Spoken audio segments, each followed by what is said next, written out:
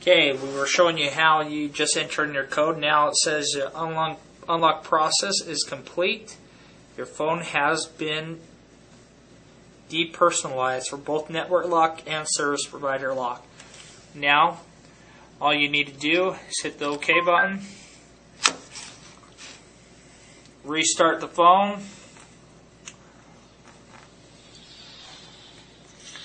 The software will still remain the same, so it'll still show AT&T on there as it boots up.